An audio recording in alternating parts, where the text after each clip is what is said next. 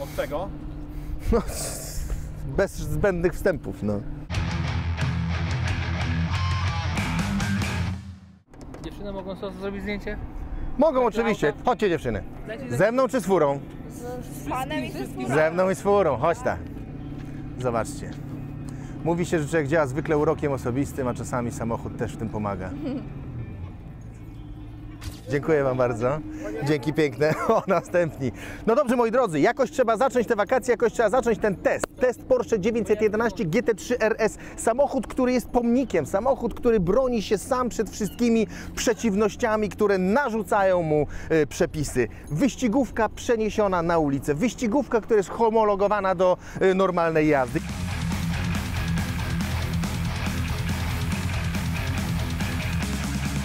Jeżeli nie chcesz wynajmować sobie GT3 Cup, nie chcesz zatrudniać sztabu mechaników, którzy będą doglądać Twoich klików w zawieszeniu i, i regulować i ustawiać to wszystko, kup sobie taki samochód. Nie jest tani, bo kosztuje prawie dwie bańki w tym wydaniu, ale jeżeli chcesz naprawdę sprawdzić swoje możliwości y, i sprostać swoim aspiracjom na torze wyścigowym, dzisiaj faktycznie nie trzeba wyczynowego zespołu. Wystarczy taki samochód, żeby podbić wszelkie trackdaye i żeby walczyć nawet czasami sam ze sobą o jak najlepszy czas na torze wyścigowym. Specjalnie dla Was przywieźliśmy ten samochód do jastarni, bo wszyscy robią te testy gdzieś właśnie na torze wyścigowym, ale żeby zgłębić tajniki tego samochodu, żeby pokazać, że jesteś dobrym kierowcą i że ogarniasz ten samochód na tyle, żeby uzyskać jakieś różnice w czasie na torze wyścigowym, żeby się poprawiać po każdym kliku zawieszenia, trzeba by ten samochód testować przynajmniej przez pół roku. Jako, że nie mam go na pół roku, a mam go zaledwie na kilka dni, będę to robił w sposób odmienny.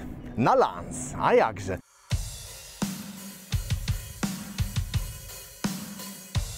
Już pierwsze fotografie zostały wykonane. Naprawdę ten samochód mm, to jest najlepsza gimnastyka dla kręgosłupa, y, dla wszystkich, którzy przechodzą obok, bo czy jesteś starszy, czy młodszy, czy jesteś chłopakiem, czy dziewczyną, każdy za tym samochodem się obejrzy. Raz, że jego aerodynamika, jego optyka, w ogóle to nadwozie rzuca się w oczy, a dwa, że akustyka, która się wydobywa podczas jazdy tym samochodem jest niewiarygodna.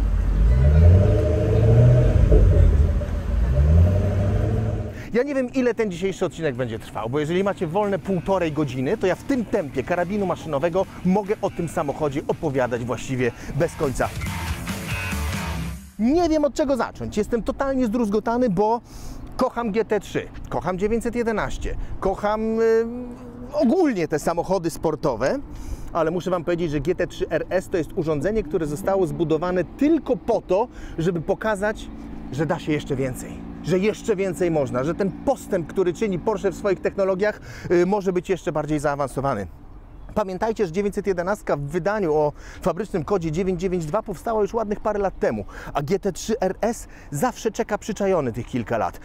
Inżynierowie wyciągają wnioski ze wszystkich możliwych wersji 911, których jest multum, bez liku. Różne wersje nadwozia, różne wersje napędu, na cztery koła, różne wersje silnikowe i na koniec dają nam ten przepiękny model, który wysysa energię wszystkich mm, opcji 911 i daje nam to, co najlepsze. Umówmy się od razu, to nie jest samochód najszybszy, bo szybszy jest oczywiście na prostej Turbo S, samochód przeznaczony do normalnej, codziennej e, jazdy. Ten samochód nie ma też najwyższej prędkości maksymalnej, bo krótka skrzynia o krótkich przełożeniach odcina e, paliwo już przy niecałych 300 km na godzinę. Czyli nie jest najszybszy, nie osiągnie największej prędkości maksymalnej, ale za to w zakręcie wykręca gębę na lewą stronę. I to jest największa zaleta tego samochodu.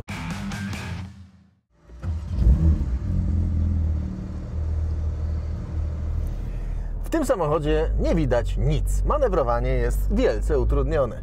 W lusterku wstecznym nie widać prawie nic. Kamera, no lekko przestarzała, ale kompletnie się tym nie przejmuje. O, tylny spoiler jest za to taki, że właściwie go w ogóle nie widzę. Widzę tylko jego krańce w bocznych lusterkach, choć z zewnątrz jest gigantyczny, to w środku go nie widać. Poprzednie GT3 miały dużo e, bardziej znaczący ten spoiler z pozycji kierowcy. No dobra, ruszamy w gościnnym porcie w Jastarni. Tutaj jeździ się wolno, dostojnie, żeby nie uszkodzić ani siebie, ani nikogo. I dzisiaj taki test 911 GT3 RS będę Wam proponował. Oczywiście poprzyspieszamy sobie, po, podziabiemy ten pedał gazu troszkę, ale no to przykuwanie spojrzeń jest w tym samochodzie i niezwykle ważne też. Ktoś, kto, kto kupuje taki samochód po to, żeby nim jeździć na co dzień po ulicach, jest naprawdę takim totalnym wariatem, bo podstawowa Carrera, albo Carrera S, albo 4S naprawdę w zupełności wystarczy do codziennej dynamicznej jazdy. To jest zupełnie nikomu do niczego niepotrzebne. Wyje silnik, wyje skrzynia biegów, e, zawieszenie jest też zupełnie przerobione, szczególnie przednie zawieszenie. Tutaj nie ma e, kolumn MacPersona, to jest wielowahaczowe zawieszenie, które sprawia, że ten komfort po raz kolejny zostaje nam e, odbierany. Także czy jedziemy wolno, czy jedziemy szybko, ten samochód jest niezwykle szarpiący, głośny, harczący i narowisty. Kupują go wariaci. Kupują go ludzie, którzy no, te niecałe dwie bańki chcą spożytkować na rzecz, która jest nikomu do niczego niepotrzebna. To jest troszkę kasus mojego Ariela Atoma, tylko oczywiście dziesięciokrotnie droższy. Yy, czyli kompletnie go nie potrzebujesz, a jednocześnie pożądasz go całym sercem i yy, całą duszą. Powiedzcie mi, na co komu w ruchu ulicznym hydrauliczna yy, regulacja ty- tylnego spoilera i docisku? Przecież to jest patent wzięty jeden do jednego z Formuły 1. Tamten system nazywa się DRS i tutaj ten system też się nazywa DRS.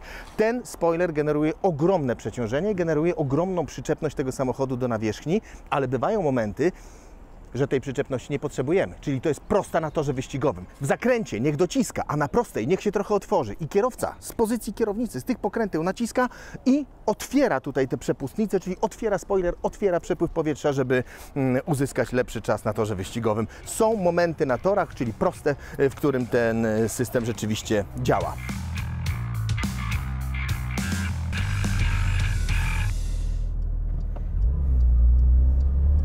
...911 GT3 RS poprzez ten system chłodnic z przodu, przeogromny, dużo większy niż nawet w standardowym GT3, ma nieprawdopodobnie silną emisję ciepła we wszystkich kierunkach. Tam są chłodnice, tu jest jednostka napędowa. Te węże, to wszystko sprawia, że płynu chłodniczego jest tutaj kilkanaście litrów. Zwróćcie uwagę, że to idzie przez cały samochód. Yy, Wystarczy otworzyć okno z charakterystycznym dźwiękiem, pogłosem. To jest cudo, to jest jak w wyścigówce. Dlaczego okno ma się otwierać bezszelestnie? Niech sobie chrupi przez uszczelkę. Gdy wystawiam tutaj rękę, nie chłodzę się. Jak wiecie, nad polskim morzem upały jakoś bardzo nam nie doskwierają. Raczej jest chłodno rzeźko. Dzisiaj jest zaduch straszny. No. Tutaj mam emisję ciepła z chłodnic i z tych wszystkich krat, które wyziewają e, z przedniego lewego nadkola. Nie schłodzę ręki, to nie będzie zimny łokieć, to będzie gorący łokieć. Także pozwolę się sobie chwilę przekulać z tym otwartym oknem e, po to, żeby poczuć dźwięki, które się wydobywają z tego samochodu. GT3 RS, tak jak w rasowej wyścigówce na bazie 911, głównym mm, hałasującym podczas wolnej jazdy jest skrzynia biegów. Zobaczcie, tym samochodem nie da się jechać stabilnie. On cały czas tak pcha się, pcha się do przodu. Jest nerwowy, niestabilny, strasznie trudno pojechać tym samochodem delikatnie. Na szczęście nie wieziemy tym samochodem y, czterech osób, tylko co najwyżej jedną, która się tutaj y, obok mnie musi kolebotać. O, upiorna. Wolna jazda jest totalnie upiorna. Ten samochód chciałby już osiągnąć tę swoją smyczkową mm, liczbę obrotów na minutę, czyli w granicach 6, 7, 8, 9 tysięcy obrotów na minutę, bo obrotomierz wyskalowany jest do 10, a czerwone pole zaczyna się na 9 tysiącach obrotów na minutę. Każdy detal tego nadwozia podyktowany jest czym? Aerodynamiką. Z jednej strony tradycja, czyli ta płetewka. Jak w tym pamiętacie, której odmianie 911 ten Kaczy Cooper tutaj przywędrował i w e, RS-ie też tutaj jest. Poszatkowane tak jak w kapówce albo w RSR-ze wziętym wprost z wyścigu Le Mans e, spód zderzaka, podwójny wydech, ale zobaczcie tutaj też te myki. Otwarte nadkole, Kiedyś w samochodach stosowało się fartuchy przeciwbłotne. Tutaj nie ma absolutnie o tym mowy. Każdy element, nawet nadkola czy dół zderzaka, jest podyktowany opływem powietrza, wypluwaniem tego powietrza, a jednocześnie powodowaniem tego, żeby ten samochód był e, przyklejony do nawierzchni. Ten silnik to jest arcydzieło techniki.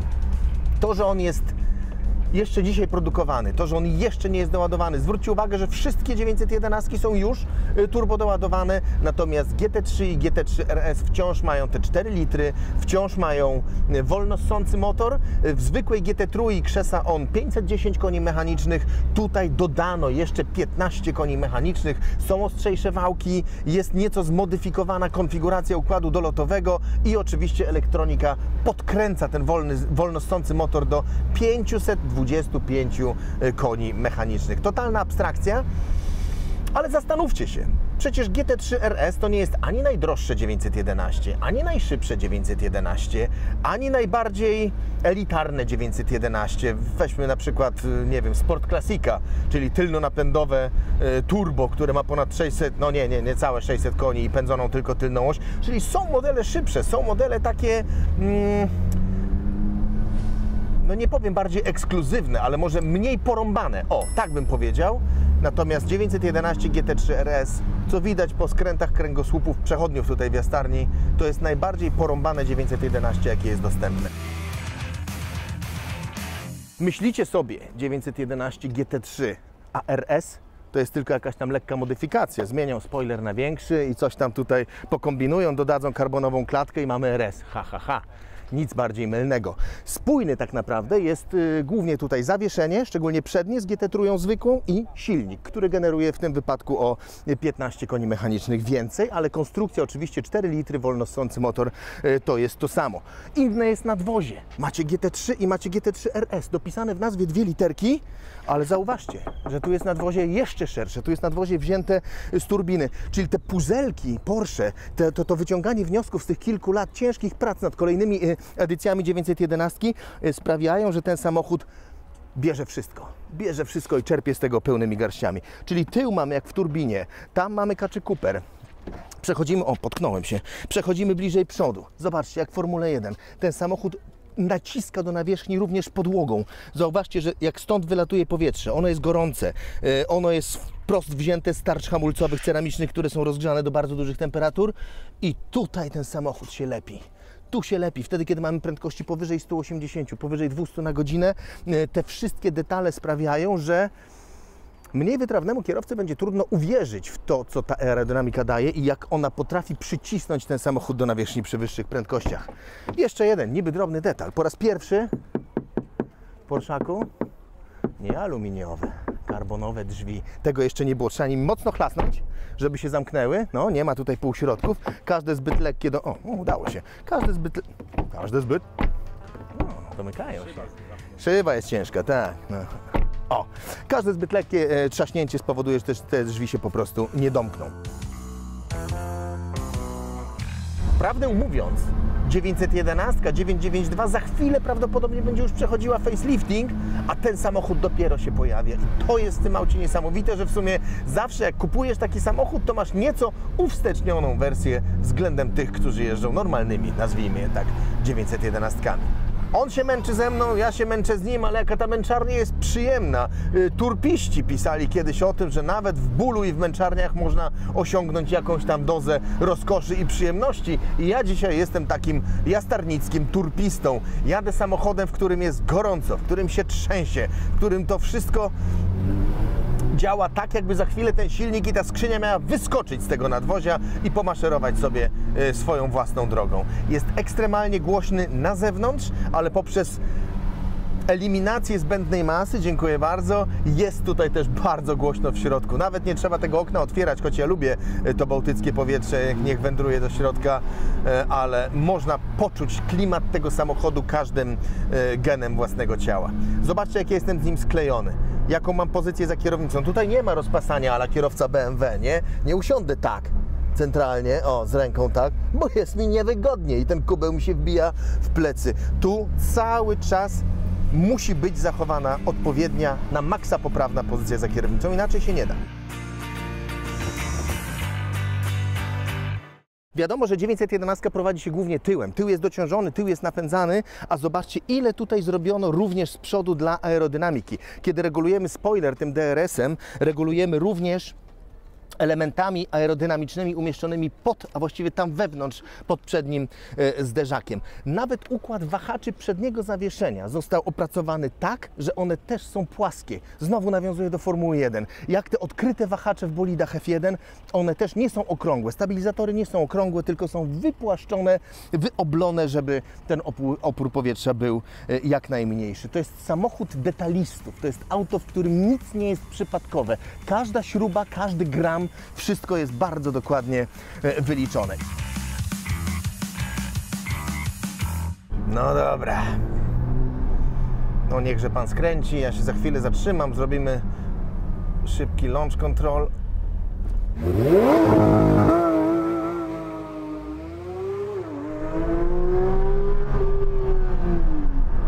To jest, nieustający tryb insane w tym samochodzie. To jest, to jest taki wariat, że, że naprawdę jego nie trzeba namawiać do grzechu. On grzeszy po prostu od, od samego początku obcowania e, ze sobą. Zasiadasz za stery tego samochodu. Oczywiście chciałoby się pojechać nim na tor wyścigowy, ale jeśli nie ma takiej możliwości, cieszysz się każdym połykanym kilometrem. Obojętnie, czy jedziesz bardzo wolno, czy jedziesz bardzo szybko.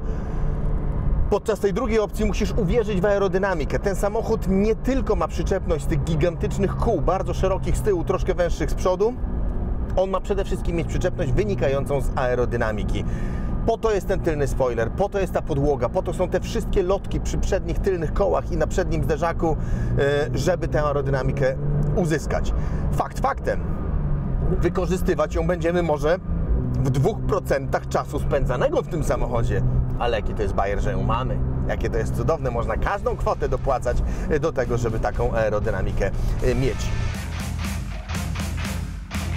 Z jednej strony na pierwszy rzut oka 911 troszkę bardziej wykręca kręgosłupy niż zwykła 911, bo jest bardzo agresywna, bo jest bardzo nasycona e, tymi wszystkimi aerodynamicznymi mykami, ale funkcjonalność w tym samochodzie równa się zero. Nie ma, brak. Chcesz. No, tak się życie portowe toczy. Chcesz cokolwiek w wyposażeniu, y, mm, co ma y, wpisane w sobie komfort, y, tutaj lepiej z tego zrezygnować. Poprzednie RS-y miały jeszcze za mm, dopłatą eliminację układu klimatyzacji. Nawet nie wiem, czy w 992 jest to dostępne, żeby nie życzyć sobie za, do, za dopłatą nie mieć klimatyzacji. E, poniekąd nie sądzę. Klimatyzacja jest, jest radio, jest ekran, ale to wszystko... mm, jest tutaj po nic. Nikt nie zwraca na to uwagi tak naprawdę. Myślimy tylko o tym, żeby połknąć kolejny kilometr z jak największą e, prędkością. Cóż jeszcze? 90% tego nadwozia wykonane jest z karbonu. Tak naprawdę konstrukcja, klatka, mm, system wzmocnień to jest. y, To są te drogie metale, tak zwane, stal y, ultra nowoczesna połączona z aluminium, ale całe to poszycie jest karbonowe. No dobra, umówiliśmy się już, że nie zatrudniamy sztabu mechaników, że nie zatrudniamy zespołu wyścigowego z y, trzema inżynierami siedzącymi non-stop przy laptopach i monitorującymi to, co się dzieje z samochodem. Mogę tym autem w bardzo wielu aspektach sterować albo z pozycji tego ekranu, albo ze skrótowych przełączników y, na kierownicy. Wystarczy nacisnąć guzik, żeby aktywować mm, pokrętła sterujące wszystkim tym, co jest mi w jeździe tym samochodem potrzebne. Mogę kontrolować tutaj siłę tłumienia amortyzatorów. To jest coś, co na ulicy jest kompletnie nieprzydatne, kompletnie niepotrzebne. Dlaczego? Dlatego, że nie jestem w stanie zweryfikować, co zmieniłem. Dopiero kiedy pokonuję okrążenia i zmienię sobie jakiś klik w amortyzatorach, siłę tłumienia, albo siłę napadu amortyzatora, albo siłę odbicia, wtedy robię kolejne okrążenie i jestem w stanie zweryfikować, czy to coś dało, czy to coś nie dało. Czy do, pod mój styl jazdy wyścigowy jest to dobry klik, czy jest to zły klik. Tak się jeździ, tak się testuje na torze wyścigowym. Uwierzcie mi, że ile byście nie kręcili tym na ulicy, to i tak nic, ale to kompletnie nic Wam to e, nie da. Mogę kontrolować również i przełączać wedle własnego uznania kontrolę trakcji. Zwróćcie uwagę, że ten samochód jest ekstremalnie niebezpieczny w deszczu. Wtedy trzeba wszys- wszystkie systemy ustawić na maksa czule, bo no, nie wolno chojrakować. W 911 GT3 RS tylny kapeć jest tak dociążony i jednocześnie jest takim naprawdę semi-slickiem, że jak on przyłapie aquaplaning, no to jesteśmy w barierach albo w trawie, albo w rowie. Także jesteśmy najszybsi wtedy, kiedy jest sucho, ale kiedy jest mokro, no to niestety może się tak zdarzyć, że wiele e, samochodów TDI będzie nas połykało jak pelikan śledzia. Bagażnika brak. Jeżeli chcesz pojechać sobie, musisz się spakować najlepiej w 30-litrowe worki od śmieci i poupychać je tutaj. Yy, przesunąć tylko ten fotel do przodu kawałeczek i poupychać je tam, gdzie jest klatka. Tam znajdziesz jakieś 100-150 litrów przestrzeni bagażowej, ale tylko w małych paczuszkach. Także nic większego, nawet kabinówka się tutaj nie zmieści, bo i po co? Yy, Przednia pokrywa się otwiera. Oczywiście, że się otwiera. ale nic pod nią nie znajdziecie. Tu, gdzie w 911 normalnej wchodzi jedna albo dwie kabinówki, najczęściej półtorej, macie tylko oskrzydloną, oczywiście karbonową klapę, wyczynową chłodnicę. To jest zupełnie inna chłodnica niż w każdej innej 911, nawet w normalnej GT3. Ona jest większa, ona jest bardziej wydajna. Wyobraźcie sobie, że opływ tego powietrza i wyziew ciepła e, stamtąd powoduje, że jak otworzycie szybę podczas jazdy, to wali Wam w dłoń wyłącznie gorące powietrze. Tu nam się... O, odkleiło coś już. No, ktoś szybko jeździł tym samochodem chyba, jak tutaj jechał do jastarni. Ale nie szkodzi, mam nadzieję, że mi tego nie wywieje. K- Ci piesi po prostu. Kolumna samochodów musi stanąć, bo się jeden parawan wgróża. Nie, pan z busa nie wypuści pana Adama. O, teraz następny bicykl. Zoba. I jeszcze jeden. Dobra, słońca wy moje. Jedziemy sobie przez Juratkę teraz. O, zaraz będziemy skręcać i zawracać. Nie jestem w stanie wykrzesać nawet 2% potencjału tego samochodu tutaj, ale w ogóle mi to nie przeszkadza w zupełności. Jadę po pięknych terenach, w miarę równą drogą, samochodem, który jest w stanie spełnić najskrytsze marzenia motoryzacyjnych wariatów, bo taki właśnie jest 911 GT3 RS. Tu się nic nie podnosi. Otworzyć można. O, klapkę z paskiem parcianym, gdzie można dolać płynu chłodniczego. Gorące to wszystko, aż cie, temperatura ciepło aż bije od tego samochodu w każdym centymetrze. Już domykam. I z drugiej strony również pasek parciany, wlew oleju. Nic więcej się nie otwiera, nic więcej z funkcjonalności tutaj nie ma. Obsługę mechaniczną tego samochodu robi się bardziej tak jak w kapówce, czyli w wyścigówce rasowej, bardziej od dołu niż tutaj od góry. Tu nie ma dostępu do niczego. Patrzę w niebo na gwiazdy, ich dawno martwy blask. Chcę zatrzymać minuty, chcę zatrzymać No. czas. I to jest dopiero przygoda życia. W ten fotel nie wsiada się. W ten fotel trzeba się po prostu wbić. Trzeba wsunąć cztery litery, a potem dołożyć y, nogi i ręce, żeby w nim zasiąść. Nie ma właściwie żadnej regulacji, ale muszę Wam powiedzieć, że zwykłą GT3 zrobiłem 4,5 tysiąca kilometrów kiedyś na raz w ciągu tam trzech dni i znalazłem doskonałą pozycję za kierownicą. Podobnie jest w RS-ie. W tym samochodzie siedzi się nisko, a nawet bardzo nisko. Można ten fotel kubełkowy podnieść, o, co niniejszym czynie. Tylko po co? Ja uwielbiam tę wyścigową pozycję. Na torze wyścigowym każdy gram y, względem środka ciężkości ma znaczenie, liczy się, także warto jest zadbać o to, żeby siedzieć tutaj ekstremalnie nisko i jednocześnie wygodnie. Nie wiem, gdzie to się przesuwa. Ręcznie się przesuwa. O, właśnie. Jak w każdym systemie. O, zobaczcie, jak ja teraz wyglądam. Kierownicę mam na wysokości czoła, ręce mam na wysokości policzków.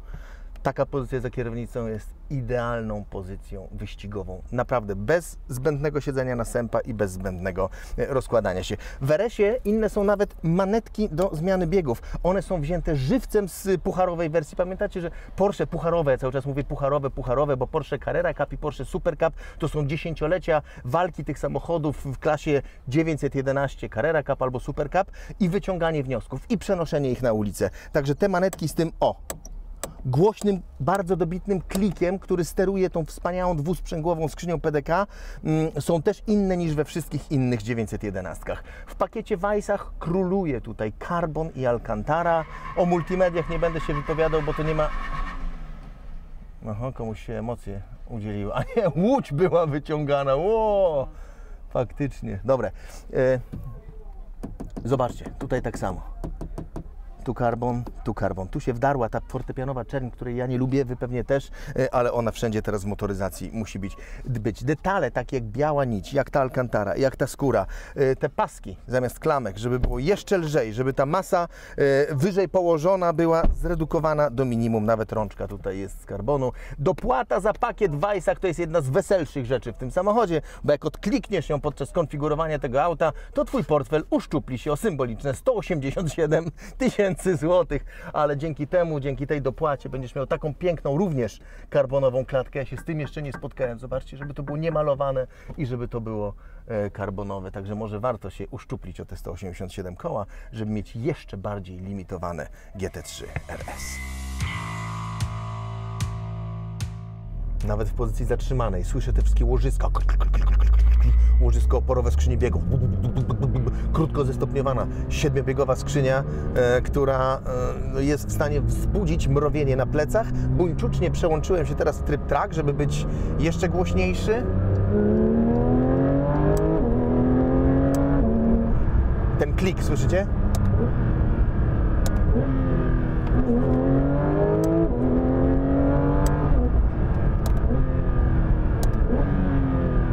W sumie mogę nic nie gadać tutaj. To jest. To, jest. Człowiek się tyle najeździ tymi samochodami i żeby jeszcze powstawały kolejne auta, które są w stanie wzbudzić we mnie takie emocje, to jest po prostu niesamowite. GT3 RS pokazuje, że każde 911 jest lepsze od poprzednika. Coś, co się wydaje niemożliwe. Mówiłem to przy okazji testu normalnej GT3, która jest ekstremalnym samochodem, ale przy tym y, zjarze jest to naprawdę normalne y, drogowe wozidło. Sztuka inżynierii, sztuka stworzenia tego silnika, sztuka stworzenia tego zawieszenia, wszystko to wynika mm, z czerpania garściami z profesjonalnego motorsportu, czyli i z wyścigów długodystansowych, i z pucharów, które Porsche organizuje e, na całym świecie. Przenieść to na ulicę, homologować to w tych czasach szalonych, kiedy mamy te wszystkie obostrzenia związane z emisją e, spalin, no to jest naprawdę e, sztuka wybitna. Podsumowując, co w tym samochodzie jest fajnego? Wszystko. Co w tym samochodzie jest niefajnego, dziwnego? Też wszystko. To jest takie zderzenie sprzeczności, e, że e, jest to obiekt no, po prostu pożądania. Pamiętajcie, że GT3 RS zawsze jest mało. Porsche nie limituje tego, e, tego modelu, ale zapotrzebowanie oczywiście jest dużo większe niż podaż tego samochodu. Będzie dwa, może trzy tysiące wypuszczone tych samochodów. Oni sobie tak siedzą przy tych biureczkach i liczą, kto jeszcze te dwie bańki chce przelać. Helmut, Frank, John i Adam na przykład, nie? No to zbierzmy jeszcze, dobra, zrobiliśmy już 3000, no, zrobimy 3,5, nie? Zobaczcie, jakie to jest niesamowite, mieć popyt większy niż y, podaż. Każdemu życzę takich biznesowych sukcesów, no auto nie jest tanie. Z drugiej strony, jeżeli masz taki samochód i nawet nie jesteś fanem motorsportu, postaw go w garażu pod kocem, bo on za 2-3 lata będzie kosztował prawdopodobnie dwa razy tyle, co kosztuje teraz jako e, nowy samochód. Także jeszcze spakietowany w tym pakiecie Weissach jest niezwykle oryginalnym autem bazującym na bardzo sprawdzonej technologii. Mógłbym dłużej, ale niestety to koniec.